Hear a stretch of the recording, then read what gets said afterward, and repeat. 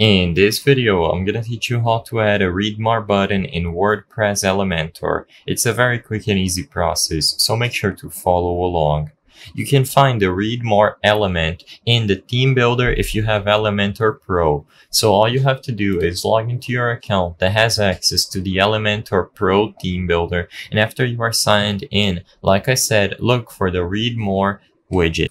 Once you select the Read More widget, the first thing that you're gonna notice is that you can place it anywhere within your page. Just drag it over another element and you will have the option to customize it to your own liking.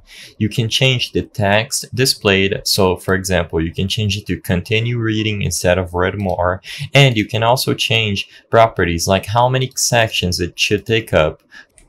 As long as the read more button is included within any of the elements available in your page, it will be functional and it will expand as soon as it's clicked on. Like I said, check out the other tabs to configure additional settings. For example, if you only have one blog post that you want to enable for read more, you can choose it as such, or you can make it so the read more button expands three or more sections at once. You have a lot of configuration that you can do over at the left side of the screen and you can even change the style of the button so the color the size and the text like i said once you are satisfied just make sure to publish the changes to your page immediately I hope I was able to help you on how to add a read more button in WordPress Elementor. If this video helped you, please be sure to leave a like and subscribe for more quick and easy tips. Thank you for watching.